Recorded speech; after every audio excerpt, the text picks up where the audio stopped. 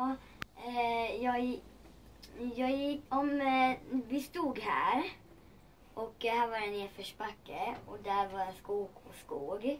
Och jag gick in, i, i den skogen och så gjorde jag som ett S över eh, eh, backen av sand till andra skogen.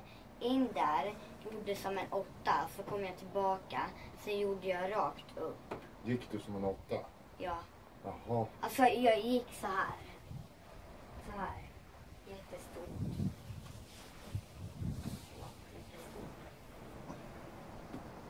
Jaha. Och sen gick du över till den andra skogen? Nej, det var ju bara två skogar. Ja, du gick över mot slutet. Sen gick du mot oss igen. Ja, sen gick Ja. jag emot. Genom all den här slyn och där som var. Och jättemassa små träd som var jättetätt. Ja, Gick du rakt igenom där bort? ja. Ja. Jo tack, jag vet. Hamlet. Han hade jättesvårt att hitta dig. hade han. Vad har du gjort i skogen Michelle? Eh, Stå still. jag har gömt mig och, han, och Hamlet ska leta efter mig. Mhm. Vem var du i skogen med? Mikael, Och vem mer då? Hamlet, Niklas,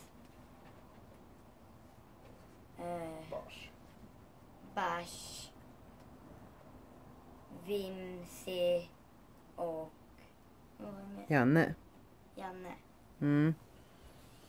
Och Janne och Niklas det, det är människor. Och Vimsi och, och Bach och Hamlet det är hundar.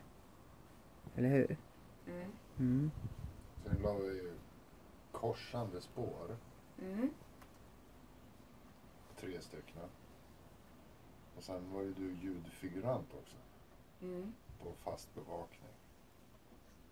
Hade du komradio? Mm. Och så eh, gömde jag mig och eh, jag skulle göra ljud Mm. med kardborre. Så kröp du mot oss. Mm.